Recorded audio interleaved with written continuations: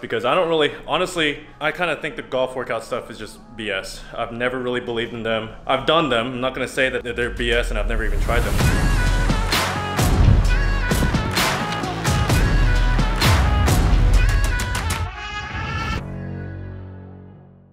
Yeah, we're in uh, Hogan's home gym here in his little garage. This- hey, Pretty sweet setup, honestly. It's the quarantine spot. Quarantine gym, yeah. What's up everyone? Got a couple comments in the last video about me working out. I really didn't want to post the video that was already made and so instead I'm just gonna make a new video, kind of basically talking about what I was gonna talk about. Here with my boy, Hogan. What's up? You might have seen him in uh, one of the really older videos. Back in the day when I didn't work out. Got, yeah, got his brother here on the camera. I'm gonna be talking about kind of what I'm doing for my workouts. It's gonna be different than what a lot of people do for their golf workouts, but you'll hear about more of that uh, here in a little bit.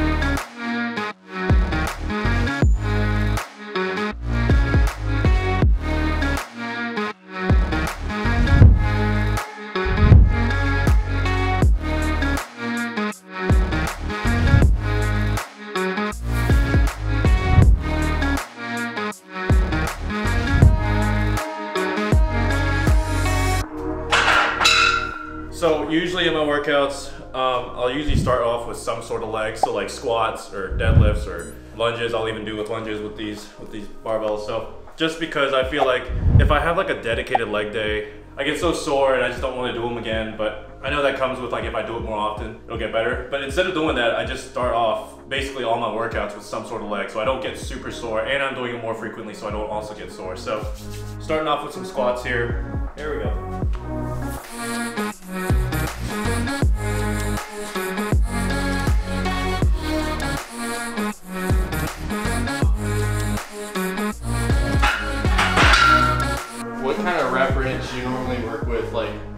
Sets?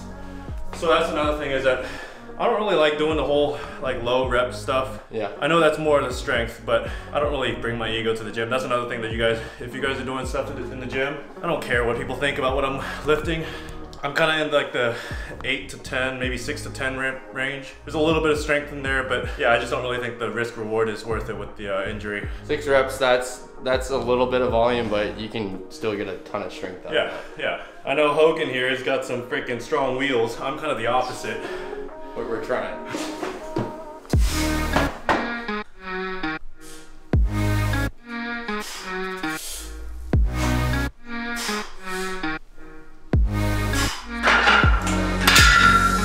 Top set gonna be? I mean, this is my working set here. Okay. Yeah, this is your warm up. Yeah. I just didn't know because you're freaking repping that 185 like it's nothing. I don't know about that. But for me, like on my warm up sets, I don't know why, but because I would go for more for those like the strength aspect. Yeah, yeah. Like you're kind of in between Yeah. volume and strength, Yeah. which I like. I just don't hit it for that many. You're, you're more, yeah, lower reps. So, like- so, I think maybe you guys saw in that practice video that I wasn't doing the traditional golf workouts. I also gave the quotation on the golf workouts because I don't really, honestly, I kind of think the golf workout stuff is just BS. I've never really believed in them. I've done them. I'm not gonna say that I'm that, that they're BS and I've never even tried them. I've tried them and I've given it its fair shot, but it's never really like made me hit it further. I mean, it's just it just hasn't. Like I wish I could say that this whole working out thing is is so that I can hit it further, and that's the results that I've gotten from it. But it, but I will say that what it has done is it's made my swing a little bit more compact, a little bit more controlled. I kind of just work out just because it's fun. I think it's there's a thing called progressive overload. Which is basically like you're tearing down your muscle and it's recovering so that it can take more amount of effort again later in the future. And so you kind of build onto what you've been working on. So you're essentially you're moving weights up more and more or it's reps or um, cutting down your weight time or something but progressive overload just it's just something that i thought was kind of fun when you know i was starting to work out when i was a freshman in college. I kind of hurt my right hand and started working out just because i was kind of bored when it was uh, recovering. Um, i actually i actually kind of thought i was going to quit golf at that point just because my right hand was hurting so much. But that was when i kind of start, started working out and again i wish i could say that it made me hit it further but it really hasn't.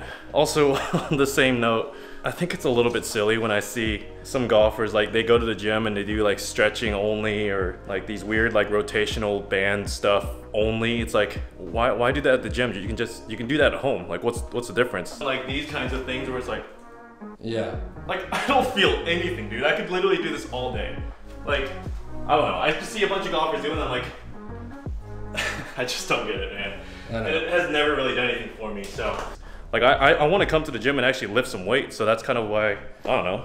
If I'm gonna stretch and do some band stuff, I'll do that at home and and go to the gym to lift. So also, I'm not saying this stuff to say that what I'm doing is right. I'm not saying that at all. I'm just saying this is what I'm doing. I almost don't even care if you guys think what I'm doing is wrong because again, I'm not really doing this for the golf. It's never really done anything golf wise. I just think the workout thing is fun.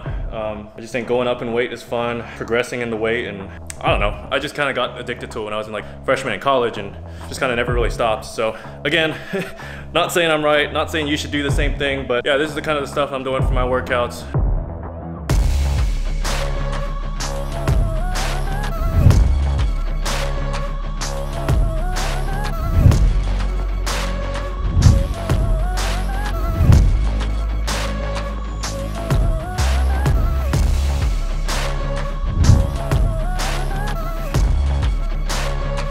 That's also why this past year, what Bryson did in terms of like him gaining all that speed and putting all that size, putting all the size, that's whatever, but gaining all that speed in his golf swing.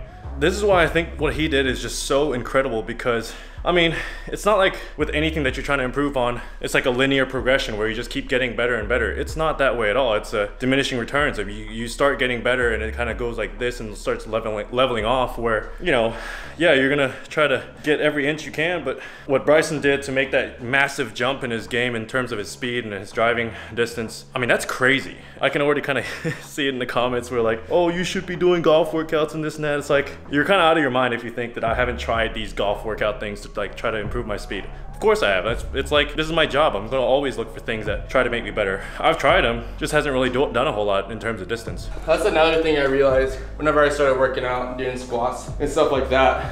Like we are talking about mobility, like Luke's saying, that's one thing he needs to work on. Honestly, me just doing these movements like squats, my hips had to get more mobile. It was just really important for me to take my ego out of it. So on the way like to gaining all this strength, I didn't get injured because that's like a huge setback. That could take like up to a year off of like yeah.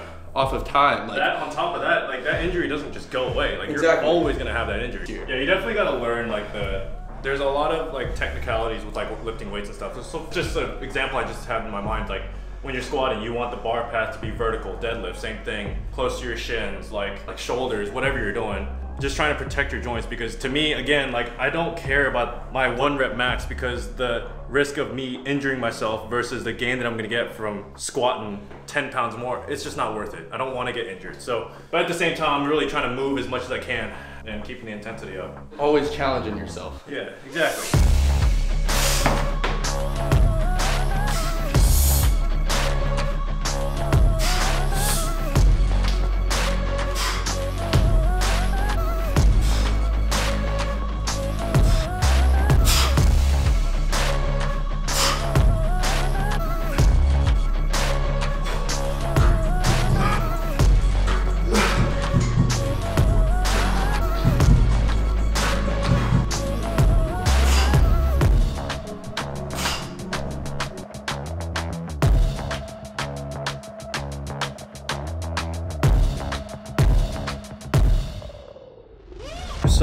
Like, I remember at the start of last year, before my first season on the Korn Ferry Tour, again, seeing what Bryson was doing, I was like, okay, I gotta try some, a little bit of what he's doing.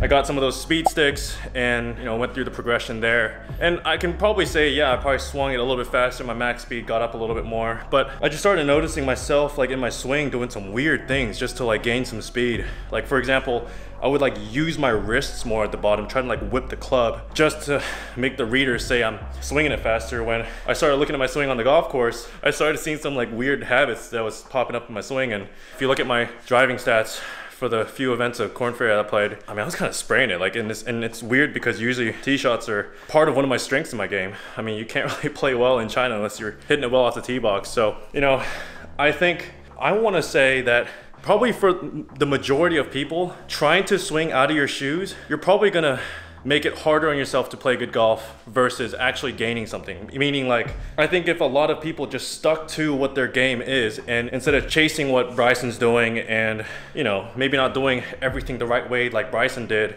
and just trying to gain speed, I almost think that's more detrimental to you than really helpful. So, you know, I, me and a couple other pros also think, think the same thing. It's like, I think this whole Bryson thing, gaining distance for other pros, not Bryson, I think might hurt more than really helps them. I mean, a great example of that is probably like Abe Ancer, my buddy that, that I played with at OU for a year.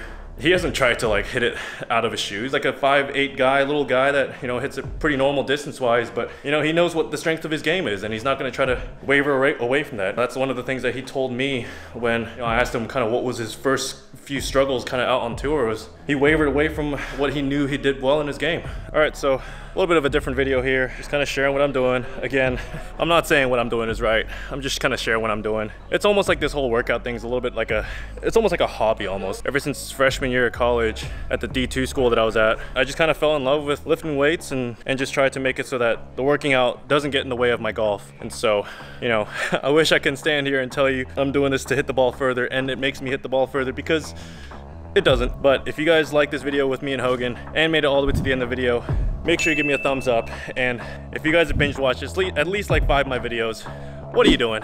Hit that subscribe button and hit that notification bell. And I'll see y'all in the next one. Hey guys, if you're wanting my help to improve your golf, I put everything I know into my two programs here. In this one, I show you everything that you need to see in your swing in order to be a good ball striker. And if you don't see these things, I show you how to fix it. And in this one, I show you the course management knowledge that elite level players use to play good golf. And these are the things that I wish I was told a long time ago. If you want more information, check out the links in the description below.